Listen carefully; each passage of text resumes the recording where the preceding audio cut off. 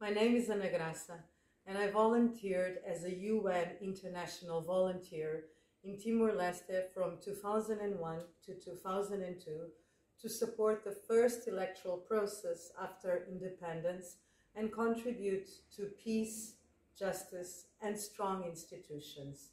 Today, I still work for our common future as the resident coordinator in Cabo Verde and my years as a volunteer brought me a sense of humility, perseverance, and equality.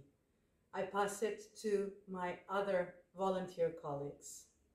Hello everyone, I am Anise Pereira and since 2020 I have been a national UN volunteer in Cabo Verde's UN Joint Office. I volunteer now for a common future by raising awareness about climate and environmental sustainability.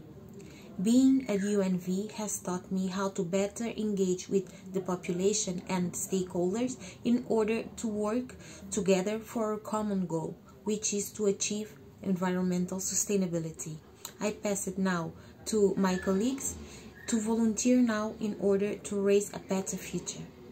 Hello everyone, my name is Roxane Sardi. I'm an international volunteer at the UN in Cabo Verde. I volunteer now for our common future by promoting gender equality and human rights to leave no one behind. Being a volunteer is a great experience and taught me many core values such as openness, willingness and cooperation. I pass it on to other colleagues to volunteer, now for our common future. Olá, o meu nome é Ivanilda Joian e fui UNV Nacional para o escritório da coordenadora residente e representante das agências do Joint Office, nomeadamente PNUD, UNFPA e UNICEF, durante dois anos, eh, de 2017 a 2019. E uh, trabalhei na coordenação, MNI e reporte conjunto de todas as agências das Nações Unidas em Cabo Verde. Como UNV Nacional, ganhei valores como a integridade, o profissionalismo, a perseverança e a cooperação.